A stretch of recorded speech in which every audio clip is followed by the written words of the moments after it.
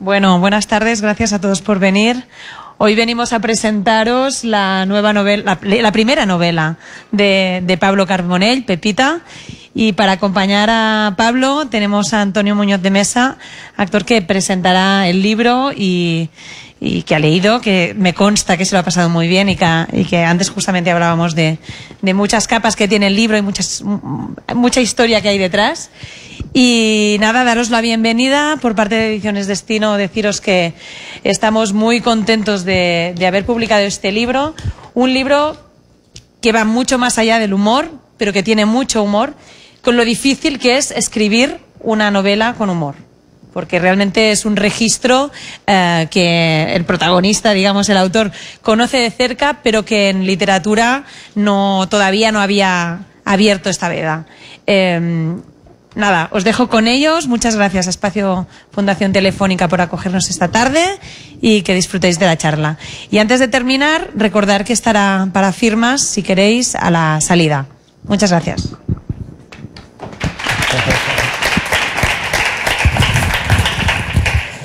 Buenas tardes, Pablo. Hola, Antonio. Voy a ponerme las gafas, las gafas de escritor. Ahora ya parezco un señor más. Lo compruebo que mi hija no ha llegado, Mafalda. Ah, ¿está, está en el ascensor? Ah, ah pues me encanta en el ascensor. Me encanta.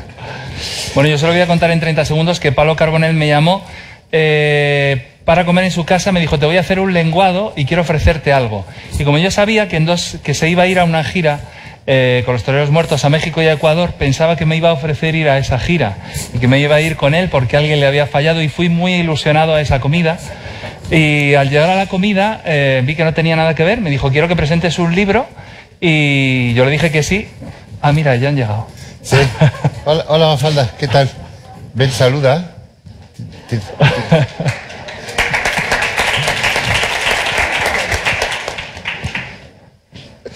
dije que sí muy ilusionado y entonces, eh, bueno, eh, pensé que me había tocado lo peor, quedarme a leer el libro mientras él se iba por ahí a tocar a, México y a Ecuador. Pero sin embargo, eh, me di cuenta, nada más abrir el libro, que me había invitado a otro viaje mucho más bonito y me alegro mucho de haberme quedado en el viaje que me ha proporcionado Pepita y que quiero que viajéis vosotros con, con ella y con todos los personajes. Pablo, ¿por qué, ¿cómo se te ocurre Pepita? ¿De dónde sale? Bueno, muchísimas gracias. No has dicho nada del lenguado, pero da igual. Eh, Antonio, me, hizo mucha ilusión encontrarte un día, ha sido totalmente circunstancial, me lo encontré un día por la calle, eh, ibas a un contenedor de, para reciclar basura, dije, con dos niños y dije, que qué padre más civilizado. Solo uno era mío. bueno, y, entonces eh, yo le tenía por, por Los Ángeles. Él, como sabéis, es autor de teatro y, y decidió marcharse a, a, hacer, a probar suerte en Hollywood. Y, y, bueno, has tenido mucha suerte que... que, He vuelto, sí. has tenido suerte que le han dejado salir, ¿no? Que, Justo. no ha sido una deportación, te has tenido que pagar el billete. Eso, eso no, pero está a punto dos veces, sí. Bueno, Antonio, entonces, eh, inmediatamente pensé en ti. ¿Y sabes por qué pensé en ti? Aparte de porque me pareces, la primera vez que me entrevistaste fue en Málaga, en el Festival de Cine, y ya dije, qué, qué suerte he tenido que este hombre tan simpático me ha, me ha atendido y me ha hecho una entrevista tan maravillosa. Y es que te habrás dado cuenta que en el libro hay algo que tú y yo hemos experimentado. Tú y yo hemos hecho en un programa que se, llamaba Un Equipo un reportaje sobre el oro. Sí, sí, me acuerdo todo el tiempo. Perfecto, te habrás dado cuenta que... Las prospecciones de los canadienses, sí. De los canadienses, exactamente, de los canadienses en Salas, un pueblo asturiano. Totalmente, sí. ¿Te acuerdas? Nuestro primer programa juntos. Es correcto, yo, yo me cabré a Piqué aunque mi trabajo fue cabrear a Piqué, que era ministro de Industria, explicando, pidiéndole eh, una explicación de por qué el Ministerio de Industria financiaba una empresa tan eh, antiecológica como la extracción del oro, ¿no? Cuando tiene tampoco uso industrial, que eso está dentro del libro y que cuando tú lo has leído has dicho, caramba, ¿no? Eh, bien, bueno, ahora voy a contestar después de esta presentación, de esta chorrada, voy a, decirte el, germen del libro. Voy a un viaje a, un festival de cine que hay en Nerva, que es la ciudad que está pegada a las, minas de Río Tinto en Huelva. Y bueno, pues conozco la realidad de ese pueblo, de la depresión económica de brutal, porque las minas de Río Tinto se han cerrado. Y entonces, eh, pues esto lo entronqué con los jueves milagro de Berlanga. Claro, que es un pueblo que también tiene una depresión económica y que deciden que aparece un santo. Y entonces eh, de- creo que es a, a Vicente Alexandre o Manuel Alexandre. Manuel Alexandre, sí. pobre, pobre, pobre. mm, Pobre escritor, la, la- la- la de veces que le habrán llamado Vicente o Manuel, todavía no me ha quedado claro quién es. Bueno, eh, el hombre que tiene un trémolo le, le visten de santo y lo ponen ahí para, para atraer a gente. Entonces pensé en una fiebre del oro, que, que este pueblo genera una fiebre del oro para tal. Entonces empecé a pensar, bueno, ¿y quién lo hace esto? Pues el dueño de la pensión. Y de repente del dueño de la pensión pasé a Pepita y pensé, ya que se llama Pepita, tiene que ser una mujer que tenga su precio en oro. Vamos, que sea una mujer muy valiosa. Y después pensé, no, tiene que ser una mujer que no tiene precio. Y ese es su precio, claro. Y el precio, eh, no tiene precio ninguno. O sea, es una mujer, ese es el valor que tiene exactamente. Y, y bueno, pues con, con esos mimbres empecé a, a, a novelar. Y, pero claro, yo me daba cuenta, pensaba, yo no creo en la novela. Eso es una cosa que es muy triste. ¿Tú crees en la novela? Cada vez menos. ¿Verdad? Y es que yo soy un lector de novelas juvenil. Yo le, creo que todas las novelas, salvo algunos casos que me que de repente aparece un libro eh, que me, que me- Pero yo te conocí leyéndolo, releyendo los episodios nacionales y me decías, ¿cómo me gustan? Hostia. O me hablaba de Esteban Swayze el otro día, o sea que no es juvenil todo, ¿no? Porque no, Stefan Zweig, dice, eh, perdona que te corrija. No pasa nada. Yo te corregí con lo de Alexandre. Stefan, Zweig. Stefan Zweig, aparte, bueno, es un gran, es un gran novelista, un tipo que escribió un montón de relatos, todos muy recomendables, eh, pero sobre todo su gran aportación es El mundo de ayer, que es nuestro mundo de hoy, por cierto. Se nos ponen los pelos como escarpias leyendo ese libro. Y ahora mismo me estoy leyendo La curación a partir del espíritu. Mm, sí, que trata sobre el tipo que inventó el... Bueno, cuando de repente se decidió que las enfermedades no venían por culpa de, Dios, ¿no? Que no era el diablo, que no había que hacer un, un rito así medio religioso para curar a una persona, que lo que curaba a las personas era la medicina, también se dieron cuenta de que había cosas que tenían mucho que ver, la fe en curarse movía, movía al enfermo a, a curarse. Y entonces es el mesmerismo, el curar con imanes, la majareta de la fundación, de la fundadora de la Iglesia de la Cienciología, que es una Mari, eh, no sé cuándo, no sé qué, Pero no, no eh, bicho malo. Hubbard, ¿no? El hombre este. No, no, no, no, una tal María que estaba como una cabra. Como una cabra. Yo fui al museo en Los Ángeles de la Iglesia de la Cienciología y vi todo el Via Crucis, porque tiene un Via Es Crucis. increíble la que ha montado esa tía. Que, o sea, de la, de la miseria. Pero hablamos de la dianética, ¿no? De la cienciología. Este. Sí, sí. Eh, que era- Y, y ahora estoy leyendo Freud, que tiene mucho que ver con, con, con el con Pepita. Vale, perfecto. Yo, yo solo quiero deciros que una, una de las cosas que, que tiene este libro es que nada más abrirlo, la primera fase, es una novela que te deja sin aliento. Dice, no respires sobre esta página. Esa es la primera frase de la novela. Y a partir de ahí, no, o sea, es verdad que te deja sin aliento, como la película de Richard Gere. Y una, una cosa, em, ¿por qué eliges el presente para narrar? ¿En algún momento pensaste que podía ser una película? Porque tú también has escrito mucho guion. Y has, y has dirigido películas, has escrito... Sí, podría ser una película, pero espero que alguien lo, alguien lo diga. Venga, voy a hacer una película de eso. Yo ahora mismo tengo otro proyecto de película. Esta es una novela, y sobre todo es una novela porque el personaje del narrador es uno de los personajes más valiosos de. O sea, el tipo que tiene.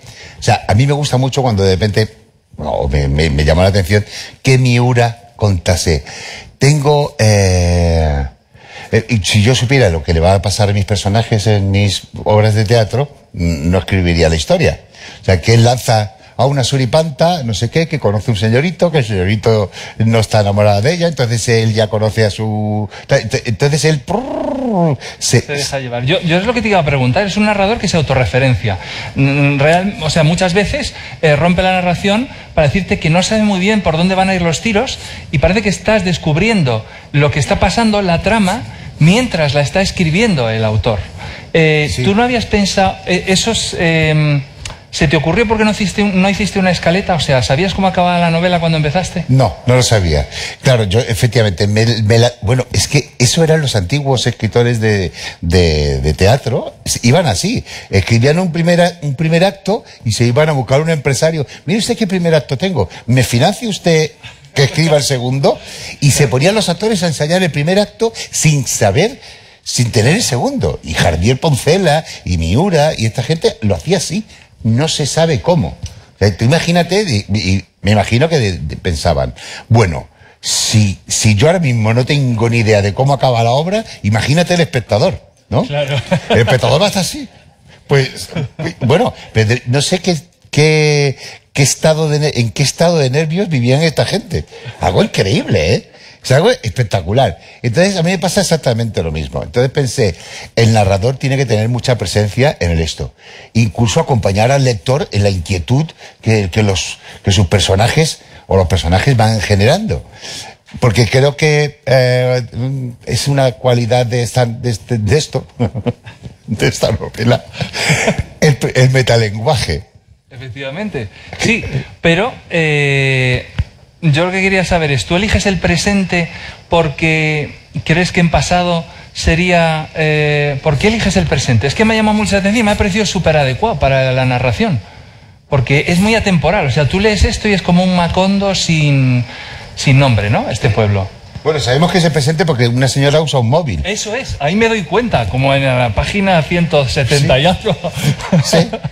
Sí, efectivamente. Eh, y la verdad que lo podía haber dejado sin nombre, ¿eh? No, pero usas, digo, el tiempo presente. Sí. Pues no me, no me había dado cuenta, no lo había analizado esto. no lo había analizado. Pues es buenísimo. Normalmente se utiliza un pretérito, está muy bien. Ah, habitualmente se utiliza el pretérito. como... No tengo ni idea. No digo habitualmente, pero quiero decir que este recurso es arriesgado, está todo en presente, es muy bueno. Eh, como, bueno, mm, el libro es... ¿Cuánto has tardado en leerlo? Nada, ¿y sabes por qué? Porque me dijiste que era el 14 de abril la presentación. Y, yo te dije, uh. va, mira, coincido con el Día de la República. De repente me dice mi amigo Jordi, voy pasado mañana a la presentación de lo de Pablo, que es el 14 de marzo, porque yo le envié la invitación y yo dije, pero sí, el 14 de abril, lo, he leído en nada, me lo devorado en nada porque tenía que hacerlo hoy y me lo había leído. Es que yo eh, también, también tiene, eh, está escrito un poco, bueno, aparte que lo he escrito en, viajes, eh, los lectores de ahora son los lectores de WhatsApp. Entonces, como tienen una capacidad de... O sea, la gente lo que está acostumbrado es, a leer el teléfono. Casi se podía haber publicado en un teléfono. No estoy de acuerdo. Yo creo que tiene una prosa maravillosa. ¿Ah, Perdona por el ripio. Yo sí quiero leeros algún trozo. O sea, es que Pepita tiene 18 primaveras, y 18 primaveras y unos recovecos iluminados por una grácil ecuanimidad de espora al vuelo y una pureza de sentimientos de pulmón de cisne. Maravilloso. O sea, hablar, leer este libro en alto, o sea, os estáis riendo pero es que no es, es, hermosísimo, es súper bello. Yo me he emocionado. He tenido síndrome de Stendhal en algún momento, no te estoy diciendo. Ah, se habla del síndrome de Stendhal. se habla que justo, después de eso. sí. Lo voy a decir. Una mujer cuya hermosura le da un sopapo de belleza a Stendhal frente a la catedral de Florencia y lo deja seco. Me mareo. Y aquí entra el narrador. Voy a ponerme algo. ¿Problemas de expresión, narrador? Sí, muchos. ¿Cómo describir lo sublime de los archiperres del abecedario? Con los archiperres. Con los, archi, los archiperres, del abecedario. Es que es... Mm, a mí me ha recordado mucho en las descripciones a Valle Inclán, porque son asociaciones improbables, pero que de repente dices, Dios. Pues me alegro que me compares con Valle Inclán, porque... porque es una autora del que no he leído nada. No, pero sí que es cierto que, por ejemplo, Galdós, que era muy enemigo de Valle Inclán, y el cabrón de Valle Inclán se lee. Yo soy galdosiano. Entonces, a, mí Valle Inclán, que, se que le llame garbancero a, don Benito, me, irrita. Eh, y además es que la obra de Valle Inclán, que era un hombre muy especial, mmm, palidece ante el volumen de la obra de Galdós. pero perdóname. A ti te cae Doña Urraca es un cable eléctrico, una mujer que ha dormido dentro de una lavadora, el ojo de una chiva en una discoteca. O sea, tú lees eso y es... O sea, es así se presenta Doña Urraca, o sea, ya es mítico. ¿Sí? ¿Te parece bien? Sí. no, lo que te quiero decir es que aparte de que es un libro que tiene mucho humor, tiene mucha literatura, tiene mucha belleza y, y hablábamos de todas las capas de lectura. La trama es maravillosa y enredos que ahora vamos a hablar porque utilizas como todos los elementos del Estado y las clases sociales y la opresión y... ah, Sí, sí. Eh, claro, yo pinto un pueblo. Entonces pintas un pueblo donde el poder son dos guardias civiles mm, que además son del País Vasco.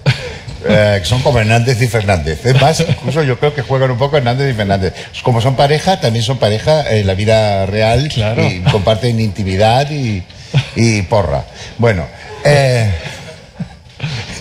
Pero pintas un pueblo, como dices tú, en vías de subdesarrollo, que es muy bonito. eh, en vía de... Sí, claro, en vía de... Porque han sí. cerrado la mina. Ah, claro, a mí en realidad todas las cosas de la, de la gente pobre, pues yo no es que haya sido muy pobre, muy pobre, aunque sí que he pasado mucha hambre, cuan- sobre todo cuando hacía teatro callejero con Pedro Reyes. Entonces, bueno, eh, la, la gente humilde siempre me ha parecido muy interesante. Ya había hecho una película de un pueblo también, Barbate, eh, también. y Chocolate. Atún y chocolate. Eh, y soy- tengo una capacidad empática con ellos. Pero aparte, también cuanto más sufrimiento tienen estas personas, más, más me río con ellos. La verdad que creo que mi mirada siempre es dulce hacia ellos. Ahí hay mucha gente muy mala. Pero yo creo que todas las personas malas lo que pasa es que lo que les pasa es que están equivocados. O sea, que están trastornados y la maldad, eh, eh, tienen la enfermedad de la maldad, de la mezquindad, de la codicia, de la lujuria de exorbitada. Pero es que en realidad lo que pasa es que están enfermos. No es que sean malos, están enfermos o equivocados. Sí, o hablas también de la necesidad constantemente. O sea, que hay veces que Curro, que es un personaje que tiene un arco muy bonito, eh, y además, porque yo pienso que Pepita es como el símbolo, ¿no? Yo le, yo le decía a Pablo que es una novela que te invita a ser libre, a que te invita a atreverte a ser libre, que es Pepita. O sea, Pepita está en un entorno, por eso, y perdona que te voy a comparar con Lorca ahora, no sé si te parece bien.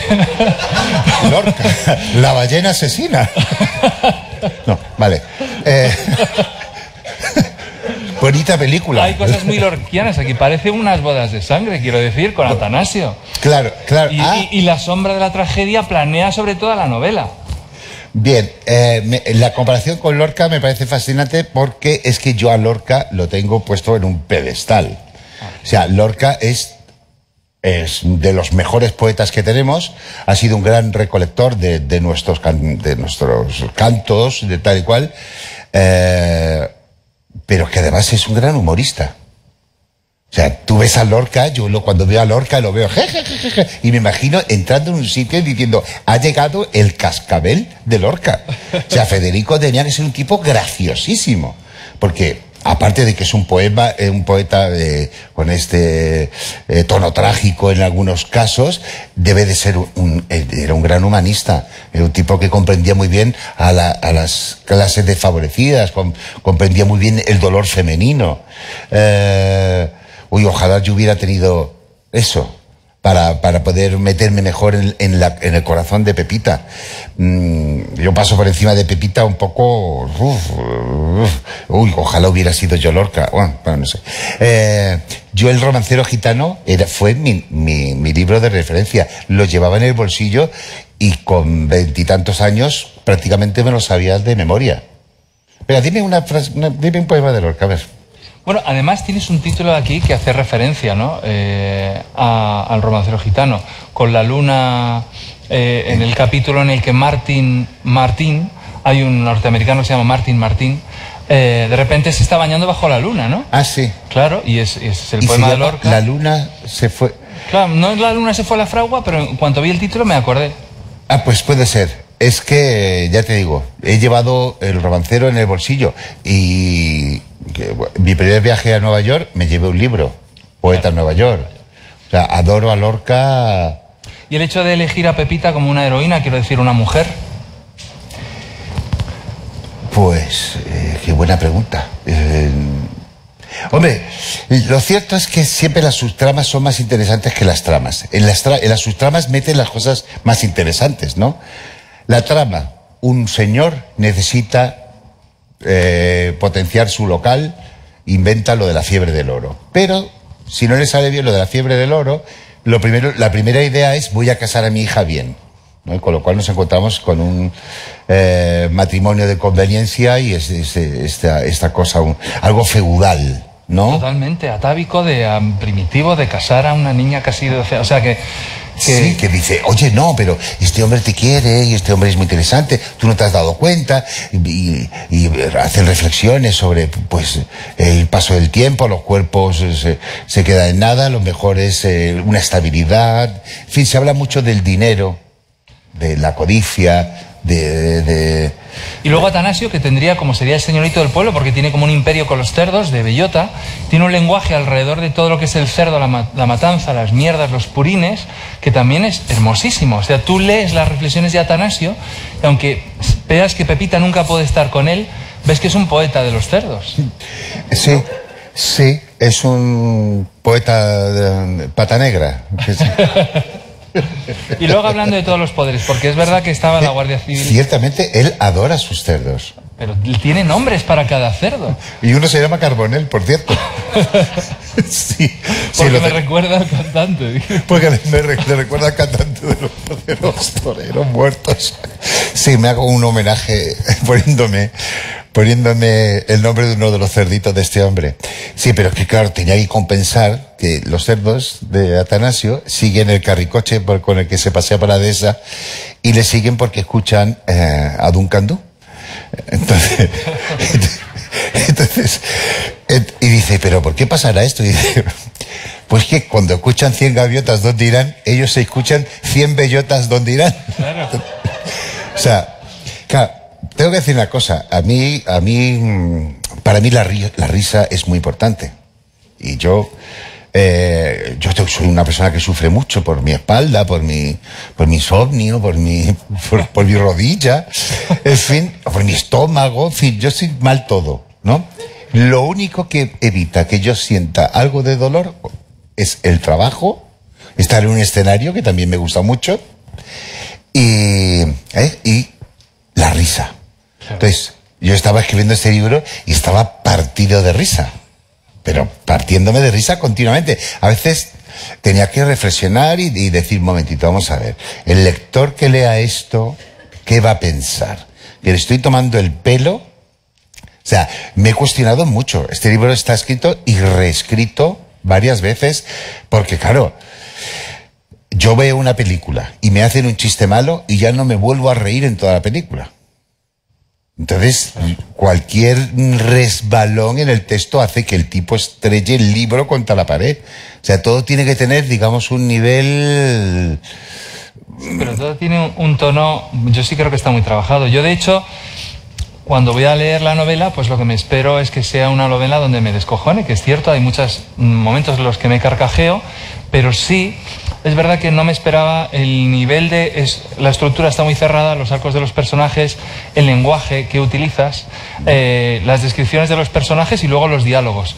Es cierto que aquí hay un cóctel eh, que va más allá para mí de una novela humorística, que no es que una novela humorística en sí misma sea mala, como a mí me encantan, pero de repente tiene algo que resuena en, para mí es unas cosas de, eh, cuando te decía te invita a ser libre, es que sufres mucho con toda la presión que tiene Pepita en ese pueblo. Y sufres mucho con los personajes que no salen de su maldad, que no saben de su, de su trastorno. de su trastorno. Y con- las beatas satánicas. Quiero decir, vamos a hablar, está la iglesia con un cura que huele a azufre, o sea, él describe que cuando vas por la calle y pasar la descuerdo, Pepita huele a azufre, o sea, es realmente el, el demonio y no, es- Sí, pero es que, bueno, los extremos se tocan. Y, y después de leer la biografía de la fundadora de la Iglesia de la Cienciología, eh, dices, esta mujer estaba, era satánica. Eh, Mira, la luna está lavando, ¿ves? Como la que- luna está lavando. Claro, bueno, es que la luna también siempre ha sido una metáfora de la mujer, ¿no? Y de esto me, me- lleva a Javier Crae, que decía eso de la luna es de quien la trabaja, que estaba muy bien. Eh, sí, bueno, yo eh, he tenido una educación católica muy, muy potente eh, eh, y me considero un hombre con cierta moralidad. Eh, también soy, ten- tengo- soy un gran pecador, pero todo, pero soy un gran pecador porque necesito sanear mi mente. Mm, La gente que no peca eh, enferma de neurosis porque, porque siente, Claro. ahí volvemos a Freud, que es lo que yo te estaba contando. O sea, Pepita, por ejemplo, se pega unos revolcones tremendos. Impresionante. Impresionantes. Pero es muy bueno, es muy sano. Y es que estamos, hay que, yo creo que esto es importante. Hay que, hay que liberar sexualmente a, a la raza humana. Porque ahora con tanto, con tanto no carnalicemos el cuerpo, no no sé qué, no sé cuánto, estamos eh, haciendo una regresión brutal a, a la- a- a- a nuestras etapas más reprimidas. Estamos ya a un nivel del siglo XIX. Los fundamentalistas están frotándose las manos con estas ideas tan progresistas de, del lenguaje no, no sé cuánto, tal y cual. Le estamos haciendo el caldo gordo otra vez a los censores que crearon tantas neurosis y tantos problemas de culpa y tanta... Claro, hay un puritanismo además que está basado en, casi en las expectativas de la felicidad, que para mí es peor, que tengo que ser feliz, ya te sientes culpable porque no lo eres, porque nadie de aquí somos felices. Entonces todo eso te, te- te lleva a un puritanismo. Quiero hacer un inciso para solo hacer una descripción de cómo empieza un capítulo, que se llama Oscuro en el claro. La tarde va cayendo con la prisa con que la miel corre por los bordes del tarro. Es muy bonito. Y luego sigue. Los árboles se agitan con gustirrinín por las cosquillas del aire y las pequeñas aves que pueblan el bosque lanzan su canto en demanda urgente de compañía o de soledad, según el carácter. Es que tiene humor, tiene poesía, pero ese pueblo, yo he vivido en este pueblo tan feliz, quiero decir que me- Sí. Bueno, eh, este tipo de, de prosa, digamos, florida, un poco poética, eh, algo humorística, claro, humorística siempre. es, bebe un poco de, mis, de las fuentes. mm, Voy a explicar mis fuentes, vamos a ver. Eso. Yo he bebido de Venceslao Fernández Flores. eh, cuando ya te- ya tenía 16, 17 años ya me, tenía leído Las gafas del diablo, El hombre que compró un automóvil, El malvado carabel, el, secreto de barba azul, tal. Eh, a- al, eh, ¿cómo se llama? Eh, Al, no sé qué de la iglesia, que fue di- director de la Codorniz. Al, al- ¿eh? Álvaro de la Iglesia. Álvaro de- El cielo no hay almejas, no sé cuánto, no sé qué, patate, mil. También, pues, todos los que había en la biblioteca de Huelva, iba por ellos y me los devoraba. Eran humoristas, entonces me, era el tipo de libros que leía. Luego, Mendoza, ¡pam! Me, me volvió tarumba el caso, la verdad del caso Savolta, y desde el- la verdad del caso Savolta me los leí todos, eh, algunos varias veces, todos los del detective innombrado, lo, eh, los he leído Incluso yo creo que ha sido prota de una peli basada en un libro de Mendoza, ¿no? ¿Tú? ¿Yo? ¿No? Pues no, pero me, me ofrecieron una vez hacer eh, la dirección de El misterio de la... No, el caso del tocador de señoras. Creo que se llama así el libro. Entonces dije, bueno, voy a leerme los anteriores para... eh, para crear un poquito un batiburrillo de alguna cosa que pueda tal y cual. Y empecé, me lo volví a leer y a subrayarlo, y Eduardo Mendoza dijo, me cae muy bien Carbonell, pero con mi libro nada más que hacen basura, así que no, que no, que no voy a dejar que lo hagan. Algo sorprendente, ¿eh? Y, y, además lo constaté. Se lo pregunté a Mendoza. Oye, Mendoza, ¿has dicho que yo, te caigo muy bien? Pues sí. Y que no, y que no vas a... Pues sí, sí, era verdad, todo era verdad. Digo, ah, pues muy bien, muchas gracias. Eh, eh, y ya por última fuente, digamos, inspiradora, tengo un andaluz que se llama Felipe Benítez Reyes, que tiene un premio de literatura por un libro que se llama Vidas Ejemplares, que es un libro de poemas en el que cada... que, eh, es como eh, una biografía de un montón de poetas diferentes. Todos los poemas los ha escrito él. Y es capaz de escribir con, con diferentes estilos y hacer la biografía falsa de todos estos personajes. Es un premio de literatura.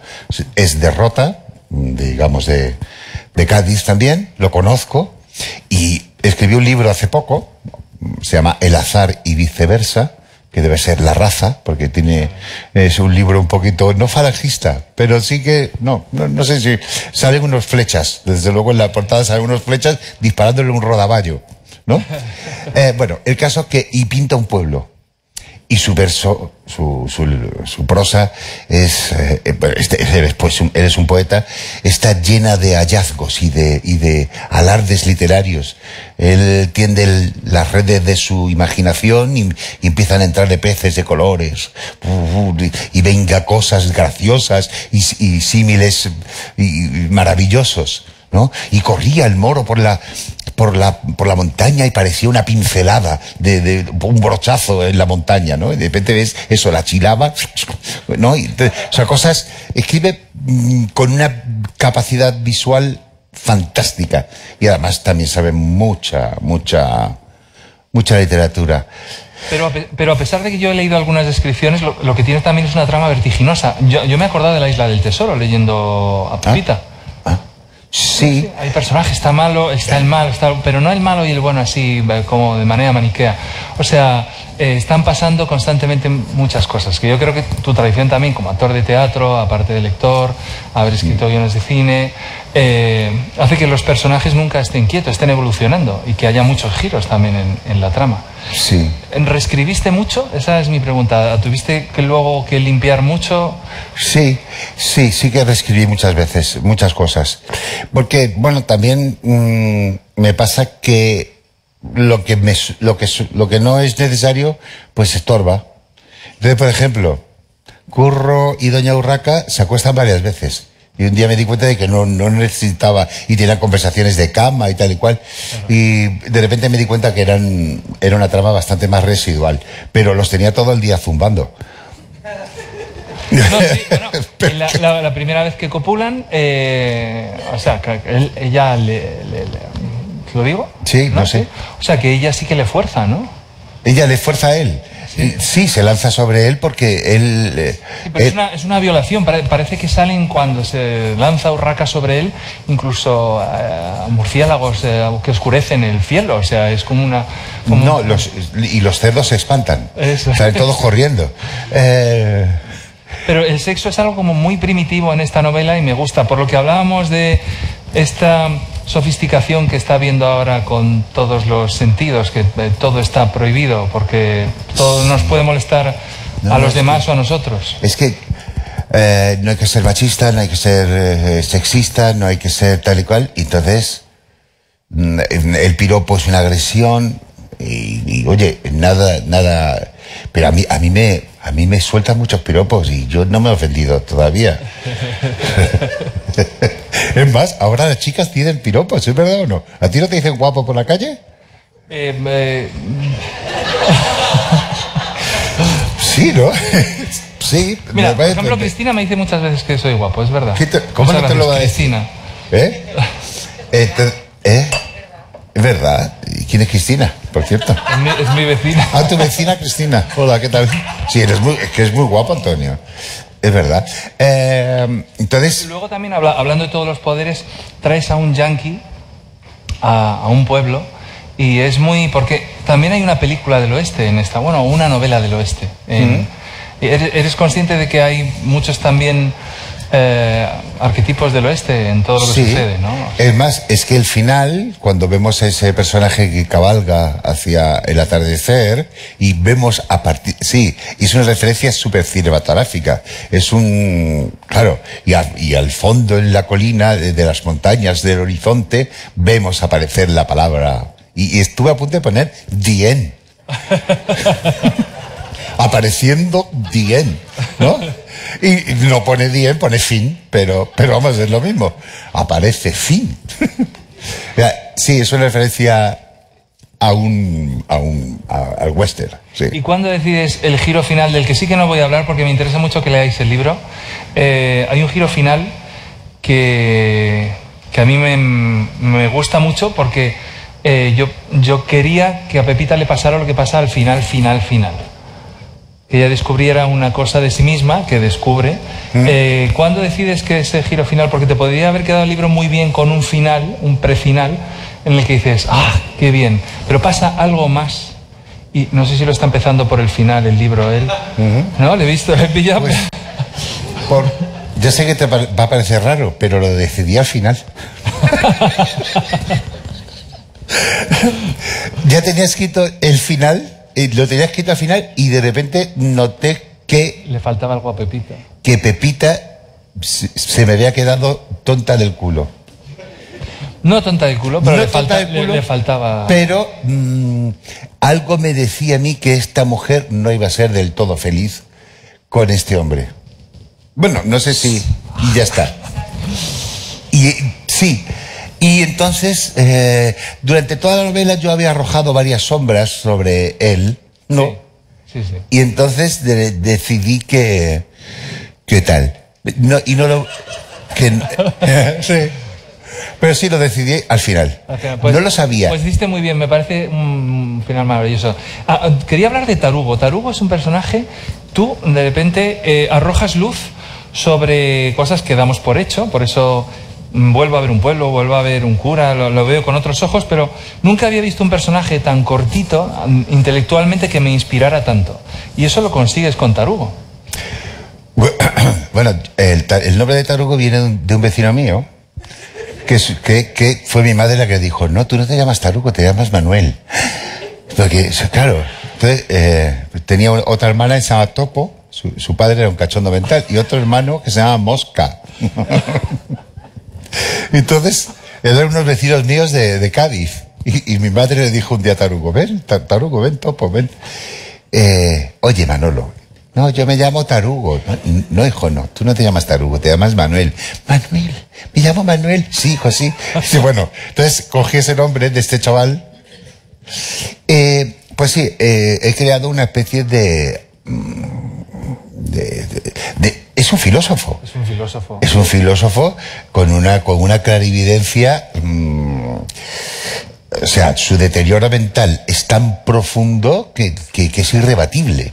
¿no? Eh, eh, su, su manera de pensar es. Pero por eso se ha esencializado, o sea, lo que queda es la esencia, que es lo que estamos perdiendo, lo que perdemos con todo lo que nos ves- O disfrazamos. sea, yo me claro, yo me pongo a escribir a un pobre padre que tiene un hijo, que cada cosa que, que cada vez que abre la boca es una tragedia, ¿no?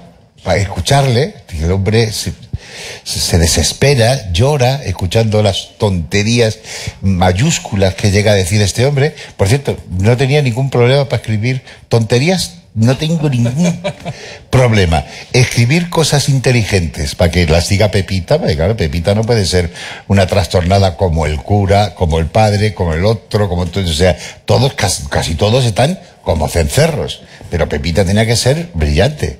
Entonces, Sí, pero para mí, por ejemplo, fíjate, te decía, Pepita es el símbolo, pero Curro, el padre, descubre que, de- que, que su hija puede ser libre y, y e- y ese arco que tiene, a- a- no sé por qué a mí, para mí el, el- el personaje que cambia mucho es Curro. sí, a Curro y le Pepita perdonamos. siempre es, y, Curro es alguien que descubre que su hija puede ser feliz de, de otra manera y se arriesga a ayudarla a ser feliz. Mm. La ayuda es, es Y yo incluso a estoy ser aquí- libre, quería decir, no feliz. Eh, bueno, es que eso que has dicho de que este libro, que me dijiste Por que este por WhatsApp, que este libro podía ser un manual para ser libre, creo que es lo más bonito que van a decir nunca de este libro. Es maravilloso. Es más, en la próxima edición hay que poner una solapa. Ah, eh, Esto es un manual para ser Para libre. atreverte a ser libre. Para Sí. atreverte a ser libre. La verdad es que lo pensé mucho porque pensé, Muñoz. si me sale muy bien la frase, querrá ponerlo en la solapa de la segunda edición. Antonio Muñoz de Mesa. Eh, un- una novela que es un, también un manual para atreverse a ser libre. Eh, Curro, efectivamente, el padre de Pepita, tiene un buen arco. Y de hecho, nadie, ni yo, esperaba que lo, lo tuviera. Porque, porque hay un momento. como diciendo, no hay un momento en el que dice una barbaridad que, me- que a mí me enoja. Y digo, si llego a saber que este tío era tan, mm, mm, eh, yo no sé lo que le llamo, eh, aparte de calvo, lo hubiera hecho tuerto, jorobado y no sé qué, no sé cuánto. Y es verdad que cuando pienso eso de él lo- y lo escribo, es que es lo que quiero. Eh, Pero luego le, le salvas porque es que es imposible. Luego le salvo, es más, Curro se convierte casi en Curro Jiménez. Lo veo con su trabuco cabalgando ¿eh? En, en su en su en su caballo, bueno, no en un caballo que roba, pero bueno, y lo veo ahí en ese momento y, y lo veo convertido en un héroe.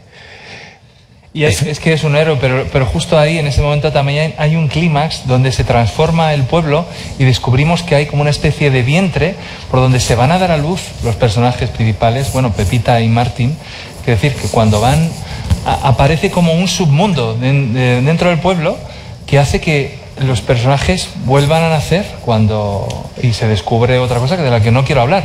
Espero estar eh, generando muchas preguntas para que leáis el libro O sea, creyendo, creando mucho suspense, porque eh, realmente lo merece. Eh, bueno, es que claro, eh, hay una explotación minera en el libro y un- está lleno de recovecos, ¿no? Pero también hay un, hay un castillo templario donde el cura tiene instalado su, sus mazmorras y sus y, y está un, club de billar para jugar al Billar francés. billar francés y tal y cual, y todo lleno de muebles de roble y, y whisky de primera calidad.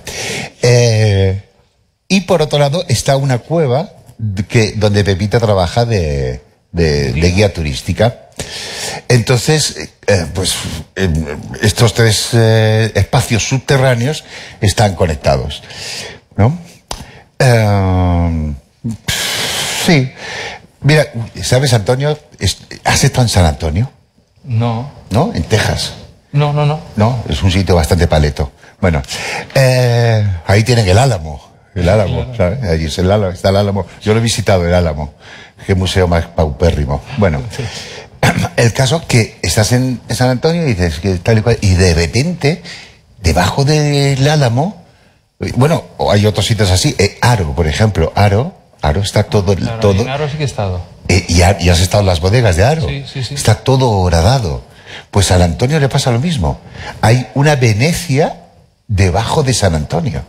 Y, y en este li- y en este pueblo, pues efectivamente hay un, digamos, un, un- unos túneles.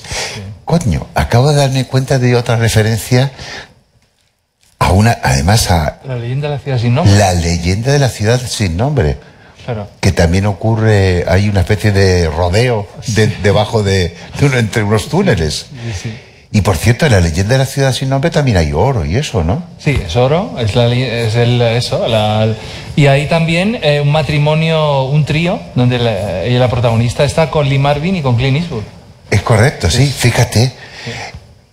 ¿Y, y cómo, se lo, cómo se lo tomarían en aquella época aquello?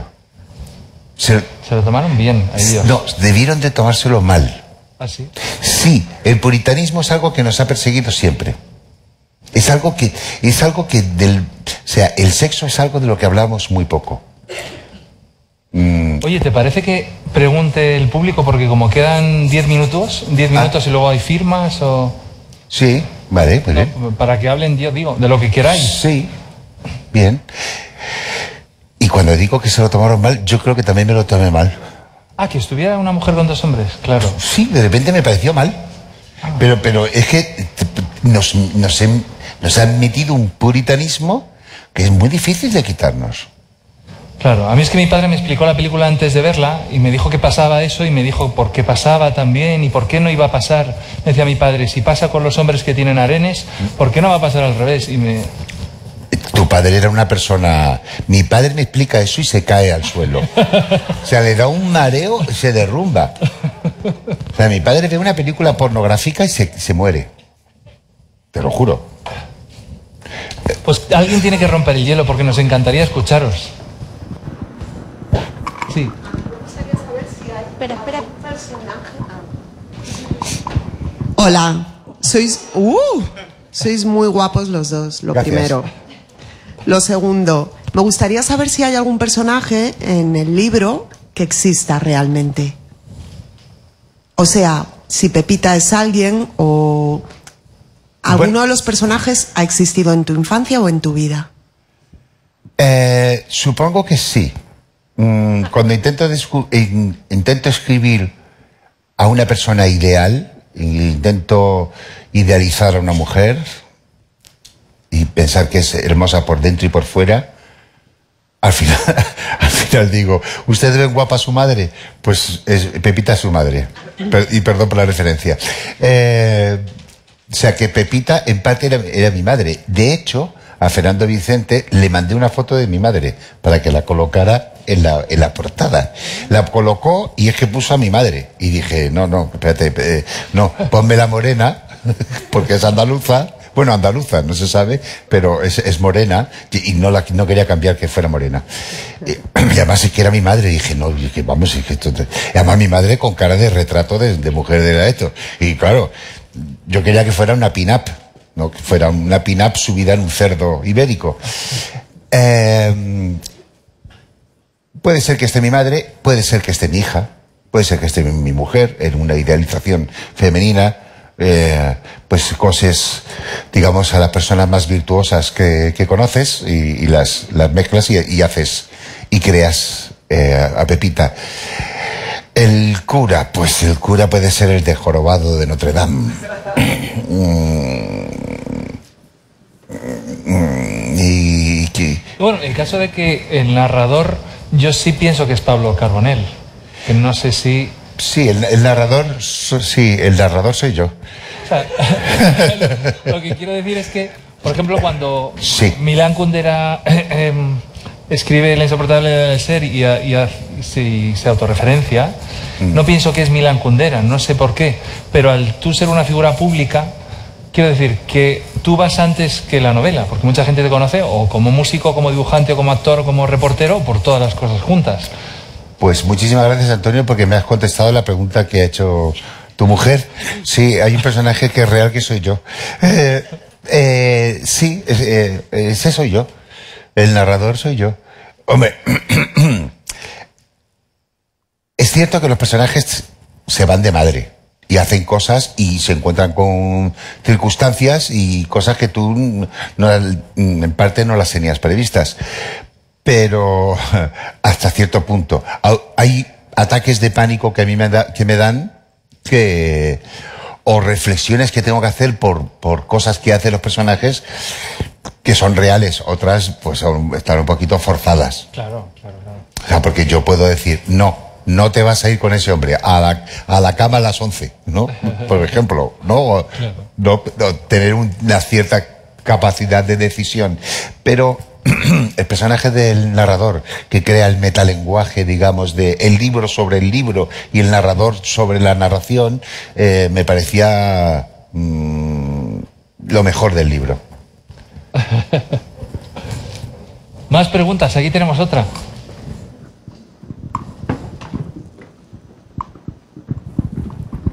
Eh, buena, bueno, un gusto conocerlos a ambos y quiero felicitarlos en primera instancia por lo dinámico de la, de la entrevista. Usted dijo en algún momento, un poco así, citando que no creía en el género de la novela como tal, ¿Que no, que qué? que no cree en el género como novela como tal, como género literario.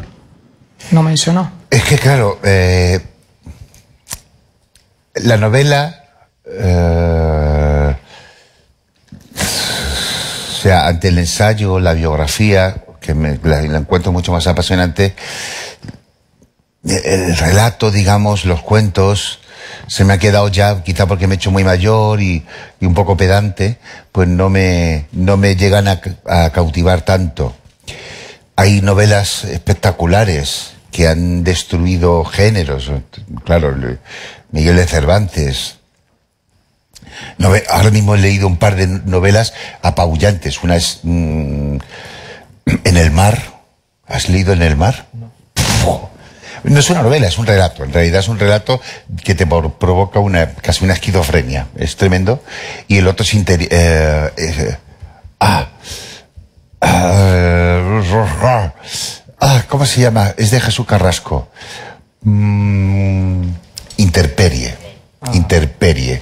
Son dos libros pequeños, son dos novelas, son dos relatos y nos presentan un mundo y son novelas que son eh, experiencias muy fuertes, ambas. Entonces, Hoy, bueno, es verdad que ciertamente Azar y, vice- eh, Azar y viceversa es una novela y narra, o sea, de la novela me quedo con la parte que me cuenta una realidad. O sea, que digamos que la cosa novelesca mm, me, trae un poco al pairo. Seguramente todas las novelas están impregnadas de la atmósfera de su época, de las costumbres de tal, con pensamientos, con moralidades, con moralejas.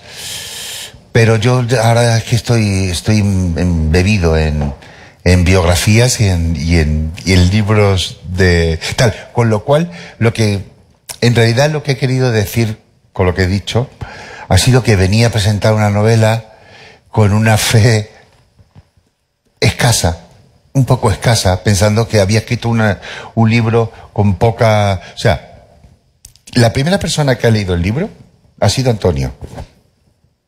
A la primera persona a la que se lo ha mandado. Entonces yo he estado de viaje hasta hace dos días. Tenía una preocupación, pensando que Antonio me iba a decir, ¿cómo presento yo esto que has hecho? o sea, yo estaba, tenía mucha inquietud, tenía mucha preocupación, porque uno siempre tiene las ganas de cambiar el mundo, hacerlo mejor. Y, y en mi libro se me han escapado, eh, digamos, mensajes morales, anticodicia, y anti y, ecológicos y mm, feministas, etcétera, pero han sido cosas que se han que han ido perfilándose ellas solas y yo mm, quizá me he olvidado de ellas, del mensaje subliminal y me he quedado con el relato. Y el relato, como es una estracanada brutal, tipo cuerda, ¿no? Algo así, tiene algo del universo de cuerda, pues digo, ¿y qué pensará la gente de esto? ¿Para qué le... Mira, bueno, sí me he reído, pero ¿qué, me ha contado este hombre? ¿No? Entonces, eh, por eso. Y otra pregunta. En algún momento usted dijo, citó, que hubiese querido entender más a la mujer. Yo diría que más sentir para transmitir un mensaje. ¿Qué le falta entonces? ¿Qué le falta a mi libro? No, no, usted, como creador. Usted, dijo, usted dijo en cierto momento, perdone, que le había, que hubiese querido entender más a las mujeres. Yo diría que sentir todo lo que trabajamos y tratamos de ponderar a la mujer, eh, transmitir mensajes y demás, creo que debemos poner lo mismo. De esta opinión es más allá de entender, sentir como ellas y mejorar eso. ¿Qué le faltaría a usted eh, en ese aspecto? Seguramente ser más gay de lo que ya soy. o sea, eh, Lorca o Pedro Almodóvar son personas que entienden muy bien el, mundo femenino y escriben muy bien para mujeres, porque las entienden de una manera... Eh, pues tiene una mujer dentro. Yo no. Entonces, quizá yo tengo yo tengo una capacidad de autocrítica muy gorda. Eh, entonces, y tengo muchas dudas siempre. Quizá eso es, me, me obliga a estar casi siempre en movimiento. Y, y, en, y, reescribiéndome o replanteándome lo que hago. Muchas de las canciones las escribo una y otra vez y les cambio el tono. Y ese libro lo he escrito y lo he reescrito muchas veces. Y ciertamente, pues sí, siento, he sentido la dificultad de escribir el, de el alma de Pepita. Y bueno, no sé si es un fallo, el libro creo que está balanceado todo, ¿no? Pero sí que yo he dicho, ostras, escribir mm, cosas inteligentes, emblemáticas, fuertes, eh, de una persona que se enfrenta a su mundo y lo dice con palabras mm, precisas, ese tipo de cosas que yo a lo mejor no lo hago en mi vida, yo voy, yo tengo mi mundo y me, tengo poca capacidad de enfrentamiento. Ese mundo, el mundo de Pepita, me ha costado. Lo reconozco, pero creo que me ha quedado bien. ¿Tú no has notado nada especialmente? No, Pepita está muy bien. gracias, Antonio. es verdad, es un alma libre que además se pone en lugar de los demás y se equilibra muy bien. Tenemos eh, un par, tiempo para un par de preguntas más. ¿Tú estabas por aquí?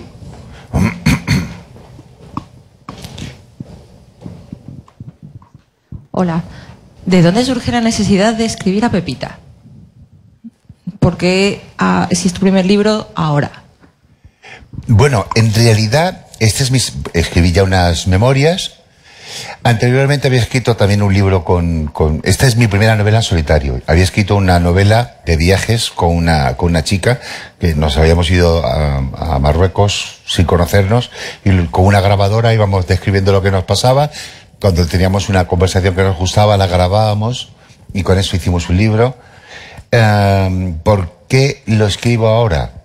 Mm, no lo sé, pero he tenido mucha suerte porque estamos ahora mismo en unos días en los que hay una gran lucha y un gran cambio en, la presencia de la mujer en la sociedad. Creo que, vamos, este 8, este 8M ha sido básico en la demostración de fuerza de la mujer. Eh, nunca, creo que nunca hasta ahora había pasado esto y ha coincidido, si es lo que me estás diciendo, si hay un, intento oportunista de presentar, pues este libro se llama Pepita hace 10 años. O sea, que he tenido la, la cachamba de, de, de que, bueno, no sé si para bien o para mal, de que se ha presentado un personaje así en estos días. ¿De dónde nos surge la necesidad? En realidad yo que tengo muy pocas necesidades expresivas. O sea, yo me subo, me acabo de bajar de un escenario, este fin de semana me vuelvo a subir, eh, te- escribo libros, mm, eh, tengo cierta presencia mediática. Escribo porque escribiendo me lo paso muy bien, me divierto, los sudokus los encuentro aburridos, los crucigramas también. Entonces mis crucigramas y mis sudokus o mis solitarios son es la literatura. Es muy divertida. Yo tenía una pregunta antes de hacer la última de vosotros. ¿Cómo ha sido el trabajo con la editorial? Porque están aquí. Eh, ¿Cómo ha sido tu trabajo con, con la editorial? ¿Qué- en, Pues- qué, en qué os habéis ayudado los unos a los otros? Porque muchas veces no se habla de la, de la editorial, pero también es básica para el libro. ¿no? Oye, pues sí, y, y además, eh, bueno, la editorial ha tenido mucha paciencia conmigo. Yo también he tenido mucha paciencia con ellos, porque ahora que lo pienso, yo les entregué, eh, digamos, el proyecto de libro y, y tardaron ocho meses en contestarme. Yo estaba convencido, de, además, como ya dije, soy una persona con una autocrítica tremenda, dije, claro, ¿cómo, me van a ll- llamar para decirme, ¿te has dado cuenta que esto es una gilipollez? ¿No? Claro, pensé, ¿no? y por eso, claro, no me, lo, no me quieren llamar. Y después resultaba que sí que les gustaba la idea. Eh, y bueno, pues hemos ido corrigiendo cosas, eh, algunas barbaridades un poco fuera de tono.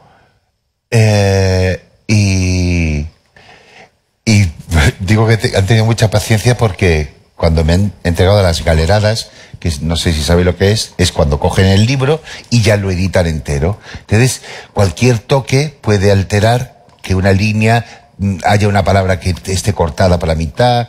Vamos, que ya es como, si quieres cambiar algo, tienes eh, cuatro días para hacerlo, porque ya va a imprenta.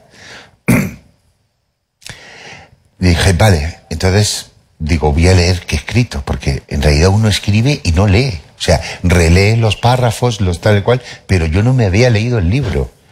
Entonces empecé a leerme el libro cuatro días antes de que entrara en la imprenta. Y tenía, podía hacer unos pequeños cambios.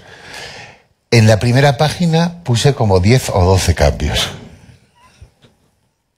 Cuando entregué el libro, supuestamente ya para hacer esos pequeños cambios, pues había unos 400 o 500 cambios eh, con un pie puesto ya para entrar en la imprenta.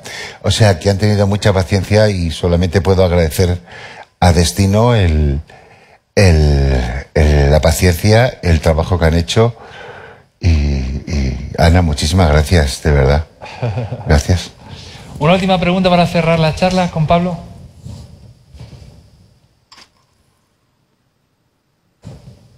La verdad es que... Pero qué claro ha quedado todo. ¿Ha quedado qué? Qué, qué- qué claro ha quedado. Ah, ha quedado muy claro, sí. Pero yo creo que le hierve a ti, ¿no? ¿No estás como con ganas de...? Mafalda, ¿tú no quieres saber si lo puedes leer tú? ¿Eh? No me lo he leído. ¿Que ya te lo has leído? Que no. que no Ah, ah, ah. No, no, pensé, papá, eh, sí, no, que pienso, y Mafalda pensará, ¿y me lo podré leer yo? A ver, es que no me dejaste leer el otro. ¿Que no te deje leer el otro? Me ¿Ah, no? dijiste una vez, por primera vez en mi vida, que voy a coger un libro y me dijiste, no, no lo cojas. Ah, bueno, es que quizás, es que quizás, sí, sí, bueno, eh, sí, es que, eh, mm, bien. Sí, es que puede ser que, que, que te lleves una desilusión con tu padre. Pero sí, este sí te dejo leerlo. ¿Cómo? Que este Pepita sí te dejo leerlo. Vale. Venga. O sea, que lo puede leer cualquier, cualquier niño. Cualquier Lo- día. Sí, cualquier día lo lees, ¿vale? Vale. Venga, estupendo. Bueno, Pablo, pues muchísimas gracias, muchas gracias a todos por asistir. Eh, aquí tenéis libros por si queréis comprarlo, ¿no? Y, y podéis Sí, firmar. sí. Y ha sido un placer. Estoy deseando ya la siguiente novela que sé, porque me has dicho ahí detrás que ya estás pensando en escribirla. Sí, tengo, sí. Eh, ¿Sabes? A mí me pasa, me pasa algo muy Kubrickniano. ¿Te has dado cuenta que, que Kubrick, todas las películas son de género diferente?